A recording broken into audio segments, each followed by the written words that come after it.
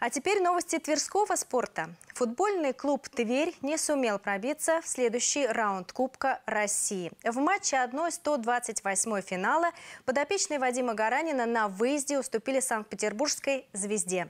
Несмотря на доминирование тверской команды на протяжении большей части матча, исход поединка решился в заключительном отрезке.